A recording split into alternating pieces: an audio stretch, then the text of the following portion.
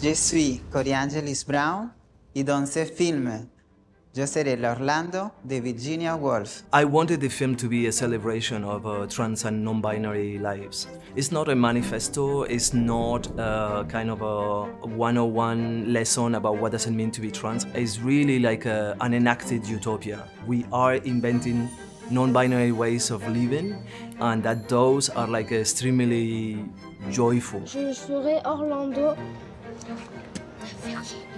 I got to read the novel when I was a teenager.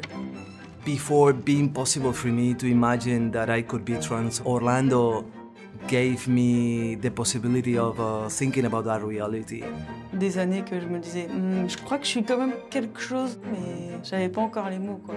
I don't like the way most films and documentaries represent uh, trans life and trans bodies and non-binary bodies. I mean, I think they're always portrayed from the point of view of the binary gaze. And almost like a, as a joke, I said, well, if you really want to do my biography, why not doing an adaptation of Virginia Woolf? Because fucking Virginia Woolf wrote my biography in 1928.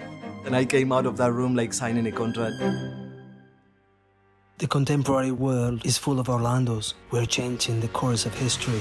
Orlando was not just myself, and I wanted to have many different ways of understanding what does it mean to be trans today in a hyper-binary society. Dans ce film, Dans ce film, je serai. serait l'Orlando de Virginia Woolf. De Virginia I have like uh, 25 Orlandos from 8 years old to 78, but also like super important people for us in France, like uh, Jenny Bel'Air, who's a trans woman in her 70s, and that has been really, really important for the trans community. I'm very happy to be back, and I thank you all for coming. We have to stop making the films that non-trans people want us to make. That can be one of the techniques for us uh, of disidentification, of gender critique.